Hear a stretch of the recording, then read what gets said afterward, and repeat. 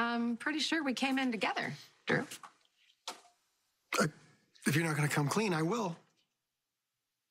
Okay. Um, I was walking up the driveway and I saw Carly messing with the door. And if I didn't know any better, I would have thought she was a burglar. but uh, it turns out she was after what can't be stolen. She just wanted FaceTime with you and with Willow. I mean, she knows you're going through it and your mom wanted to help. I called, but I couldn't get through. And I know it seems really overboard, but I just wanted to be here, you know, when you got home. Yeah. Yeah, I had the keys, so I thought she'd be more comfortable waiting in here than, than in the main house, that's all. That's very sweet of you, Carly. Thank you. Of course.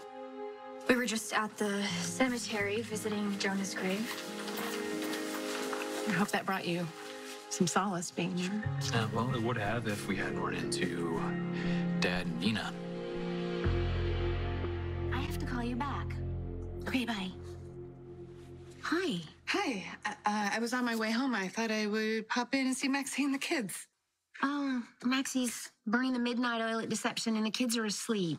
Oh. As they should be at this this time of night. Yeah, I am so sorry. I didn't realize how late it was. I'll just I'll come back at a more appropriate time. I'm sorry. Kiss the kids for me, okay? Have a good night. Nina, do you like popcorn?